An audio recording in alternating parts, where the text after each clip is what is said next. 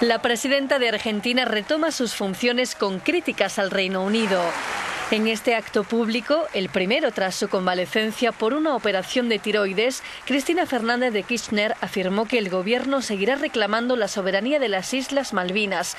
También arremetió contra seis compañías petroleras por aplicar precios exagerados. Escuché que nos trataban de colonialistas a nosotros, los argentinos. De Naciones Unidas tiene 16 causas todavía de lugares son colonias y de las cuales 10 son de Inglaterra y obviamente una de las más emblemáticas son nuestras Islas Malvinas.